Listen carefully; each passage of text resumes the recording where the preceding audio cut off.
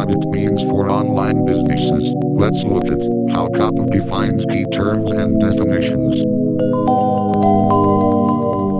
The FTC considers any website or online service that collects or controls personal information, or pays for the collection or maintenance of this information, to be an operator. Part of the FTC's enforcement process is determining if an operator has actual knowledge that is, they know their business is targeting and collecting information from children under 13. If a FTC discovers that an operator has actual knowledge of such data processing, but doesn't comply with COPPA, a judge will likely enforce a steeper penalty for blatant disregard of the legislation. FTC considers the following to be personal information under COPPA email addresses, first and last names, screen names, geolocation, instant message details, physical addresses, telephone numbers, hobbies and interests, photographs, and video and audio files. COPPA's definition of personal information also includes persistent or anonymous identifiers. These are details that can be used to identify a person over time, such as IP addresses, customer information collected using cookies, or other tracking technologies, and device serial numbers.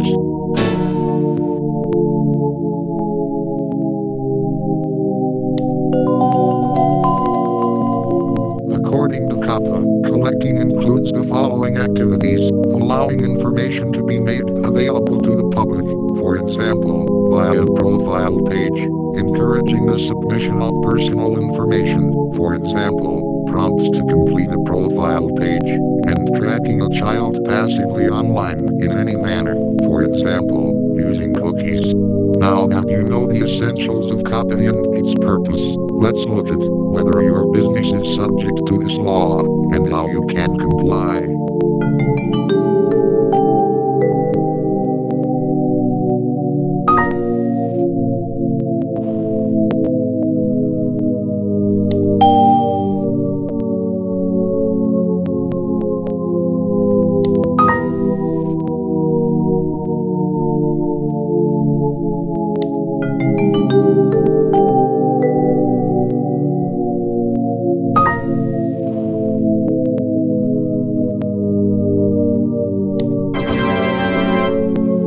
Businesses subject to comply with COPPA need to generate a privacy policy that meets the law's strict requirements.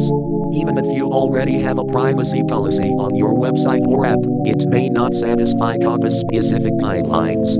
According to the FTC's rules, your privacy policy must include the following information to be fully compliant names, addresses, and phone numbers of the site slash service operators. Type of information collected. How information is collected from users. How the site slash service operators use the collected information. If the operators disclose collected information to third parties, and how those parties use the information. Description of how a parent has the option to consent to the collection of their children's information from the site without agreeing to the disclosure of that information to third parties. Explanation of parental rights, including the rights to avoid disclosure of more information about children under the age of 13 than is necessary, refuse to provide information about a child, and review information that has been submitted to the operator about the child in question. COPPA requires that you feature your privacy policy on the homepage of your website, as well as on any part on the site where you collect information from children.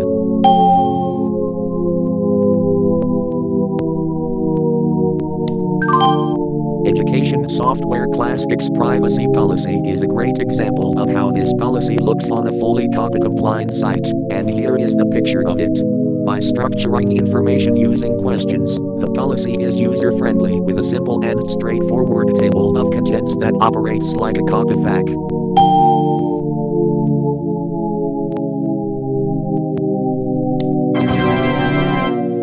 Before collecting information from children, COPPA requires that you present a direct notice to parents requesting their consent. You must inform parents of the following that information, such as the child's parent or guardian's name and email address, was collected in order to obtain consent, and the collected information will be deleted after a reasonable amount of time if no further consent is given. That you wish to collect information from their child. The type of information you will collect from their children, and how it will be used. That they must consent before your business can collect, use, and disclose their children's information. How they can find your privacy policy. How they can give their consent.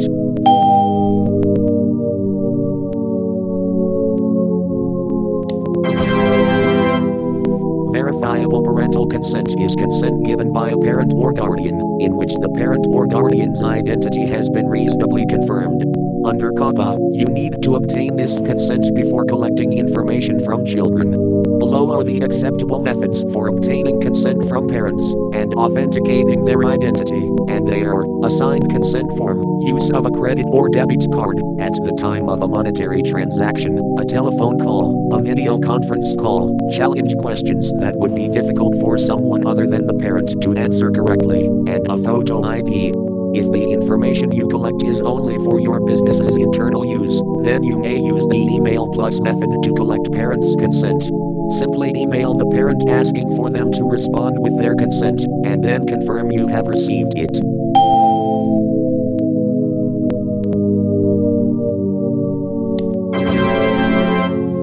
The FTC uses various methods to enforce COPPA and imposes high penalties on companies that fail to comply. To find violators, the FTC encourages Internet users to submit a complaint for a site that they think is violating the guidelines. States and other federal agencies also have jurisdiction to enforce the law. For example, in 2016, New York's Attorney General found that Viacom, Mattel, Jumpstart, and Hasbro were all in violation of COPPA because an advertising partner they worked with used cookies to track personal information of their users.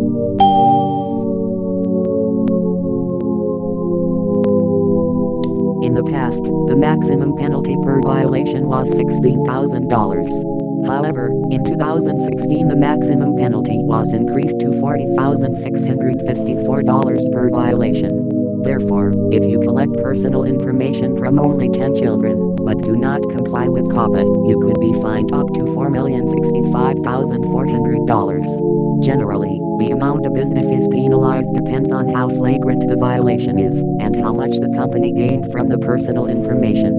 You can find the COPPA violator chart at termly.io slash resources slash article slash COPPA. While $170 million might not be much to a large company like YouTube, it could easily destroy a small or medium sized business.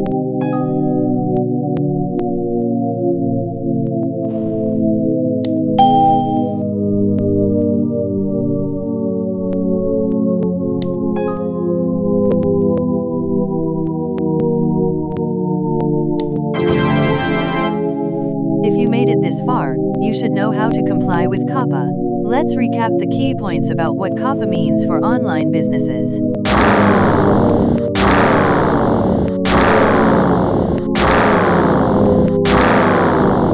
If you're looking for further COPPA guidance for your operations, start with the following resources.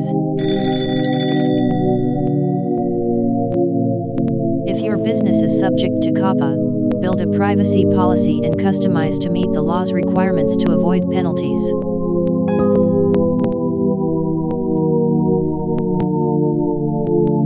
Whoa. What's happening? Oh no. Oh no.